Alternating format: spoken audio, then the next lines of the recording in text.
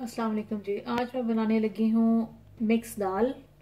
इसके लिए मैंने मूंग और मसूर की दाल ले ली है। इस कप के साथ मैंने इसको नाप के डाला है। एक कप मैंने डाली है मूंग की दाल और एक कप मैंने डाली है मसूर की दाल। जिसको मैंने यहाँ पे तकरीबन एक से डेढ़ घंटा मैंने इसको भिगो दिया था। यहाँ पे मैं मसाले ले रही हूँ। एक चिकन क्यूब डालूँगी। इसके अंदर जाएगा अदरक लहसुन का पेस्ट मिक्स गरम मसाला, नमक हसबे जायका, क्योंकि मैं क्यूब भी डाल रही हूँ तो नमक आप अपने जायके के मुताबिक डाल सकते हैं। हल्दी है यहाँ पे और ये सुरख मिर्च है।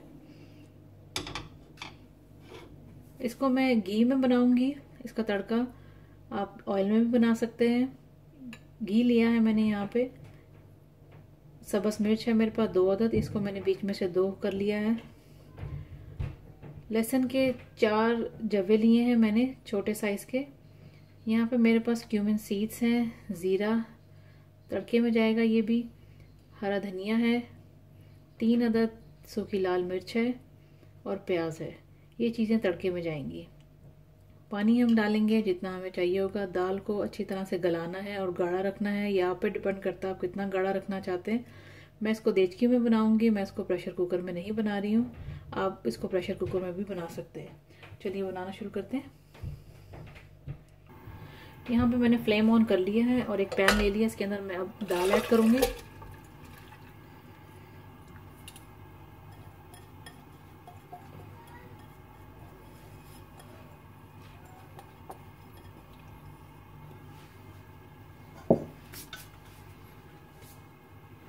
दाल के साथ मैं पानी ऐड करूँगी।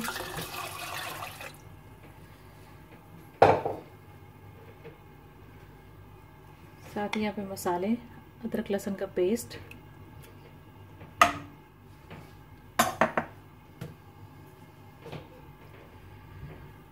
लाल मिर्च, हल्दी, नमक और गरम मसाला, ये सब ऐड करूँगी।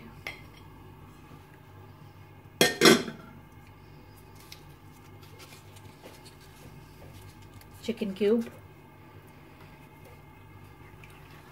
मिक्स कर लेंगे इसको।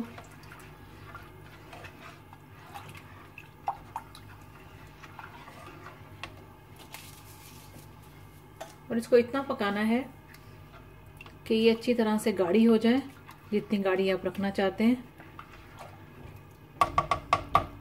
मैंने इसके अंदर तीन गिलास पानी डाला है। भी इसको पकने के लिए रख देते हैं। फ्लेम को मैं मीडियम कर दूँगी। जब ये दाल थोड़ी गाढ़ी हो जाती है तो फिर मैं आपको दिखाती हूँ। यहाँ पे आप जैसा कि देख सकते हैं कि मैंने इसको, दाल को इतना गाढ़ा कर लिया है। इससे ज़्यादा मैं इसको गाढ़ा नहीं करूँगी। अगर आप इसको, इससे पतला रखना चाहते हैं तो आपकी मर्ज़ी है। अब मैं इसके तड़के की तैयारी करूँगी। फ्लेम बंद कर देंगे, बिल्कुल।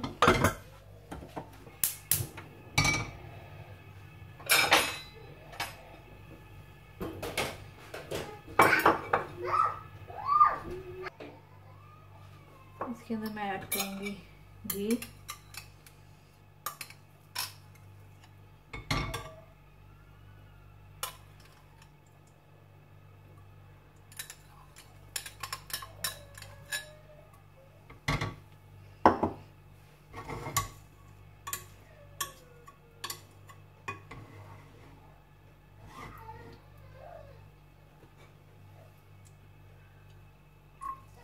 लहसुन। प्याज साबुत मिर्च ज़ीरा ये मैं डाल दूँगी इसके अंदर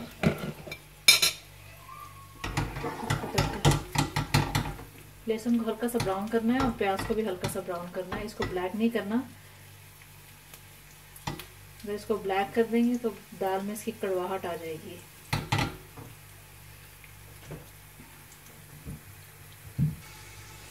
दाल को मैंने सर्विंग के लिए निकाल ली है। और इधर तड़का भी तैयार हो चुका हुआ है। इसमें तड़का लगा देंगे।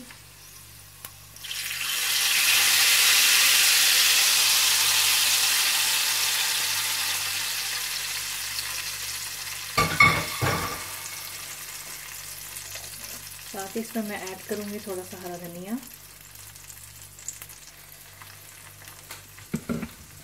लीजिए मज़ेदार मिक्स दाल तैयार है। आप भी ज़रूर ट्राई करें और बताएँ कि आपको कैसा लगा। Thanks for watching the video